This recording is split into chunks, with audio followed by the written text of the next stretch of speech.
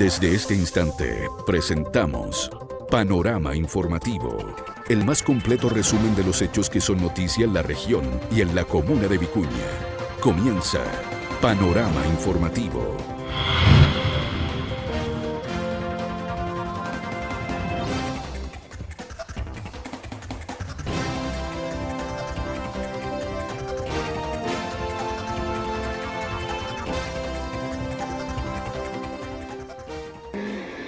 Tengo que viajar mucho con él a Santiago, eh, es mucho más fácil.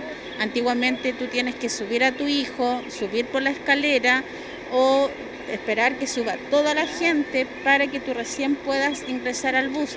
Ahora que solamente pongas la silla al lado del asiento, el, transcargo te ayude a subir y él solamente la máquina llegue hacia adentro, es una comodidad impresionante. Lo otro que me llamó la atención que mi hijo puede ir amarrado de abajo en sus pies y que no se puede mover, queda totalmente bien sentado, bien derecho, cinturón de seguridad, genial.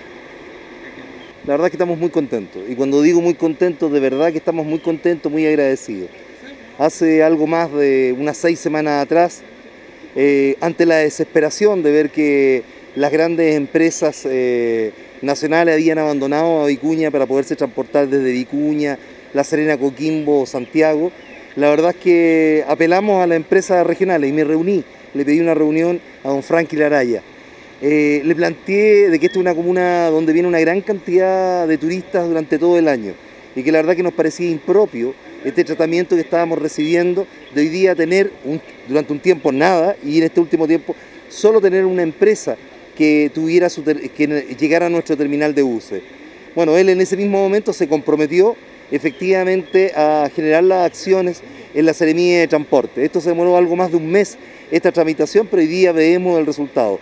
Hoy día Corman Bus ya está en Vicuña. Y si es verdad que empieza a funcionar a partir de este día domingo, alrededor de las 22.30 eh, me indican que va a ser la salida. Eh, ya estamos dándole el pie inicial, estamos muy contentos, recibimos tanto al propietario, Franklin Araya, como a cada uno de los trabajadores de la línea con los brazos abiertos. Sentimos que Vicuña se merece un servicio de calidad, también se merece un buen valor, en lo particular consultada, porque bueno, uno de estas cosas debe consultarla. Acá no son semicamas, son todos camas, ¿ah? y la, valor, el valor del pasaje a Santiago es de 15 mil pesos, que es un valor que dentro de lo que uno conoce, bastante razonable, bastante bueno, con la posibilidad de ir cómodo. Pero tú colocabas unos conceptos que a mí me parecen súper valederos. No es solamente movilizar, no es solamente ofrecer un transporte para nuestra gente, sino adicionalmente a ello, darle la oportunidad de seguridad al interior de este transporte. Porque efectivamente, estas son máquinas 2021, eh, eh, vienen con tecnología para enfrentar el COVID Primero que nada quiero agradecer a don Rafael, que él prácticamente nació de él esta idea. Eh, la verdad es que muy contento, estoy muy feliz de, dar un, inicio a un, nuevo servicio que de, mi región eh, y sobre todo con, esta, con estas máquinas nuevas que tenemos que vienen eh, completamente adaptadas al sistema de, de vida que estamos viviendo actualmente. Eh, en realidad estoy súper contento y lo hago con mucho agrado, con mucho cariño y, esperar que todo esto salga muy bien. La verdad que entiendo la información que se me entrega, que hay solo dos buses ¿ah? que van a la zona norte de nuestro país. Desde Santiago a la zona norte, dos buses que tienen un sistema que no sé, no sé si ustedes lo pudieron apreciar, para aquellas personas en situación de discapacidad, para aquellas personas que no tienen movilidad, que efectivamente sus familiares no tengan que no solamente caer, eh, cargar con, la responsabilidad de tener a personas que aman en este tipo de situaciones, que tienen que hacer fuerzas muchas veces cuando esas fuerzas no las tienen. Hoy día la posibilidad está de que efectivamente la máquina se abre, baja a este, este asiento, este salón cama baja a la altura efectivamente del piso y la persona la pueden subir, colocar en él y esta maniobra la hace gentilmente el personal de la empresa.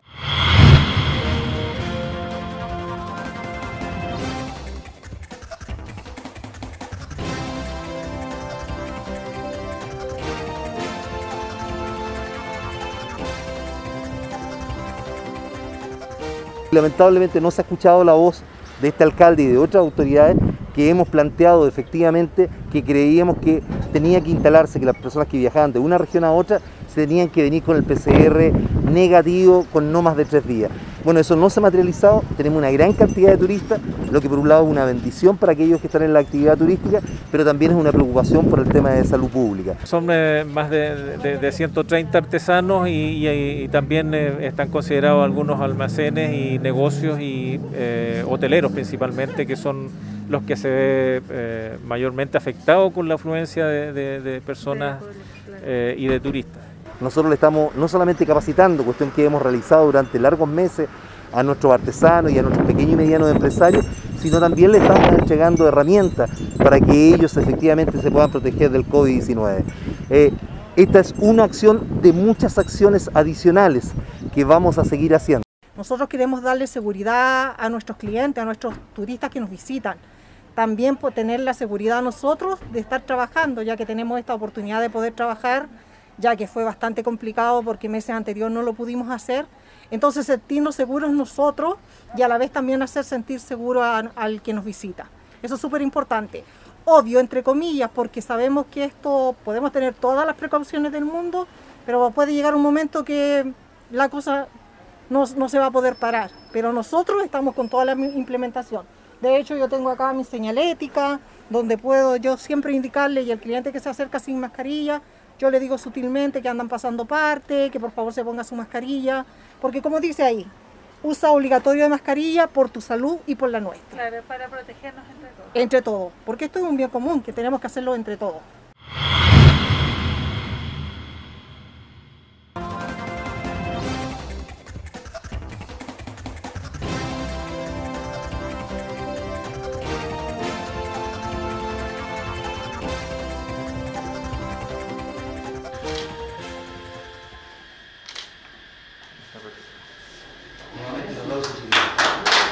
La verdad es que cuando partimos con nuestros talleres, el año pasado habíamos hecho 20 talleres y teníamos la convicción y la idea de hacer muchos talleres durante el año 2020. La verdad es que la pandemia lo impidió. Este taller en particular creo que partió la última semana de febrero, o si no la primera de marzo, y se suspendió el taller por las razones obvias y cuando se dieron los aforos se volvió a, vincular este taller a nuestras acciones. Muy contento, muy contento porque los talleres no solamente demuestran la expertise, en este caso con estas mesas laterales, con neumáticos, mesas de centro con neumático, con tejido y con eh, diferentes aplicaciones que hacen de un neumático que lo vamos a botar a hacer una mesa de centro muy bella, una mesa lateral muy bella para nuestra casa. Eh, más encima con toda la carga psicológica que es la partida de una de las alumnas. La verdad es que, que siempre ver partir a alguien que uno quiere no es algo fácil. Para las chiquillas fue muy duro la partida de la señora Eudemia. Eh, pero hoy día, con toda, la, con toda la tristeza, pero también con toda la alegría ah, de, acompañar a que haya venido su esposo, su nieto, que hayan sido parte de la certificación, que se hayan llevado el trabajo que ella estaba realizando y que sus propias compañeras ayudaron a terminar, demuestra que aquí no solamente se vino a aprender una técnica, sino se vino a aprender cómo podemos convivir, cómo podemos ser mejores personas. Aquí con un poquito de sentimientos encontrados en este taller porque, bueno, nosotros partimos en febrero más o menos, luego se nos vino la pandemia, entonces quedamos ahí eh, en stand-by. Eh, y entre tanto igual perdimos a una compañera, a una alumna del taller. Entonces el retomarnos eh, fue súper importante porque ya estaba la necesidad de, las vecinas de salir un poquito de, su encierro. Eh, retomamos el taller con todas las medidas de protección, con todos los protocolos habidos por haber, manteniendo el distanciamiento, trabajando al aire libre y lograron ellas terminar sus trabajos. Eh, entonces, para ellas fue muy, muy significativo esto, poder lograrlo, y para nosotros igual, para nosotras como monitoras también una satisfacción enorme que ellas lleven sus trabajos a sus casas terminados y que queden con ganas de hacer más cosas. Ha sido una experiencia maravillosa. Estos talleres han sido muy, muy lindos gracias a la señora Margarita, que es la, monitora. Eh, salió todo, todo perfecto, porque estábamos un poquito desanimadas de, primero, porque como empezó todo lo de la pandemia cuando estábamos empezando, pero no perdimos las esperanzas de que íbamos a volver a terminar los trabajos. Y, ahora está el trabajo todo terminado, fue una ceremonia hermosa, eh, muy emocionante también por la pérdida de, de nuestra querida amiga, que, que, ella estaba tan anhelosa haciendo su trabajo y usted sabe que, que Dios se la llevó.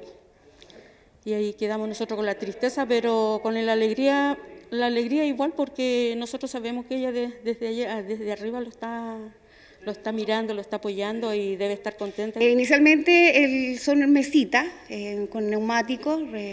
los neumáticos las chiquillas de la oficina de la mujer se encargaron de ir a, buscar los neumáticos, traérselos a la, señora. Eh, trabajamos la lana, que es el producto nuevo, ¿ya? Y la madera. Ella decirles traíamos las maderas cortadas, pero ya tenían que lijar, tenían que hacer las terminaciones de, del trabajo de la madera. Y eh, ellas pusieron un toque de ellas, querían hacerle algo a la, mesa, a la base de la mesa, algo diferente, y trabajamos con servilleta. servilleta con cola fría, algo más, más eh, económico, porque esa es una técnica un poquito más cara, pero el resultado fue maravilloso, les quedó muy lindo y cada una, como te digo, puso su, su toque de, de creatividad en el trabajo.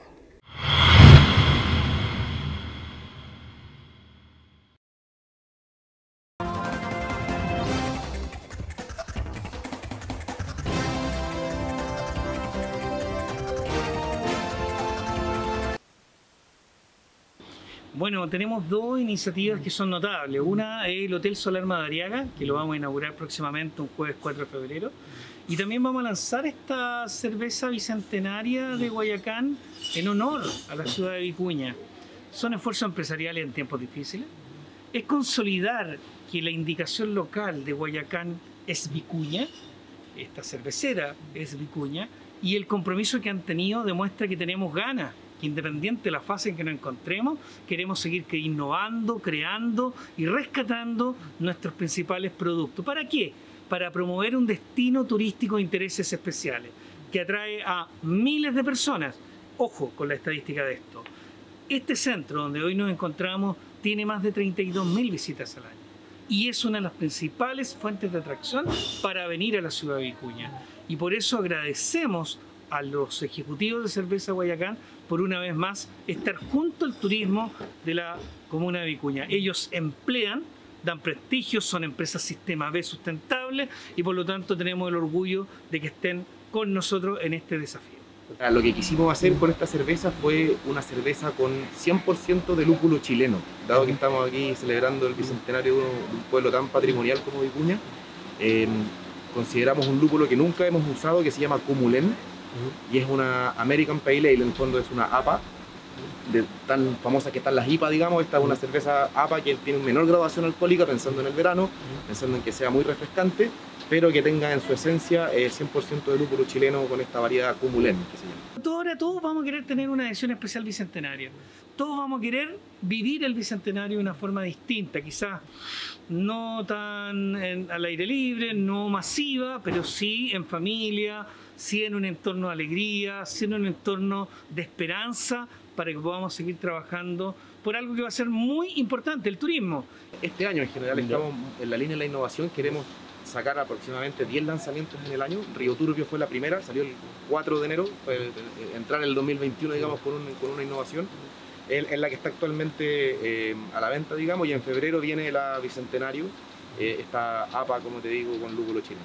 Bueno, fue un año complejo para todo Chile, para todo el mundo, eh, para la cervecería obviamente tuvimos un año súper complejo, pero en momentos de crisis también son, son donde aparece la resiliencia, donde aparecen momentos para la creación, para la innovación.